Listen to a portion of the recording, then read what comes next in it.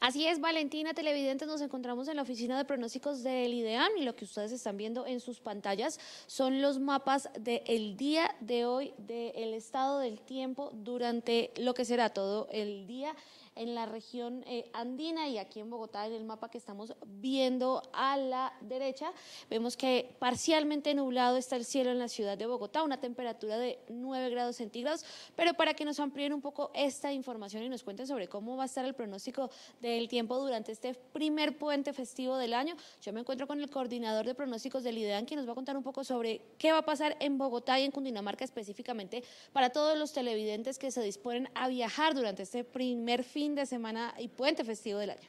Bueno, muy buenos días, un cordial saludo. Eh, primero el día de hoy tendremos unas condiciones lluviosas hacia la región pacífica en sectores del centro y oriente de la región eh, amazónica.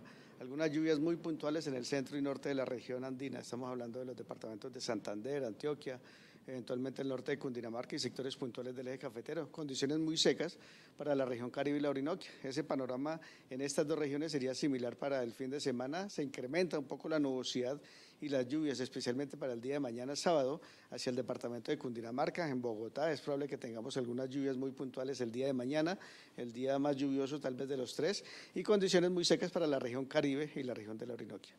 Recomendaciones para las personas que se disponen a viajar. Sabemos que Bogotá, sábado, domingo y lunes va a llover, mañana va a llover mucho más que todo el resto de los días, pero recomendaciones de pronto para las personas para evitar cualquier tipo de contratiempo durante sus viajes en la carretera y también para que el clima no les vaya de pronto a dañar el paseo.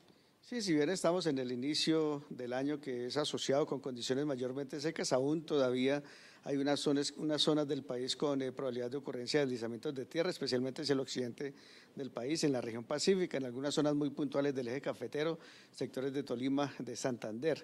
Es probable que en el transcurso del fin de semana se registren allí algunas precipitaciones, entonces estén atentos al monitoreo de las condiciones meteorológicas y también a las condiciones que emitan las autoridades respectivas. Bueno, y para las personas que se disponen a viajar hacia la región Caribe, que como usted lo mencionaba, va a estar eh, prevaleciendo el tiempo totalmente seco, eso quiere decir que vamos a tener climas muy cálidos. También hay familias, como lo hemos visto en nuestra emisión, que se disponen a viajar hacia esta zona del país. Recomendaciones para estas personas, teniendo en cuenta que va a haber mucha radiación y demás. Sí, indudablemente tenemos hacia la región Caribe, el centro y norte de la región, condiciones muy secas, eh, incremento de la temperatura, especialmente en el transcurso de las horas de la tarde, y incremento de radiación solar. Y en la zona marítima, incremento del viento y el oleaje.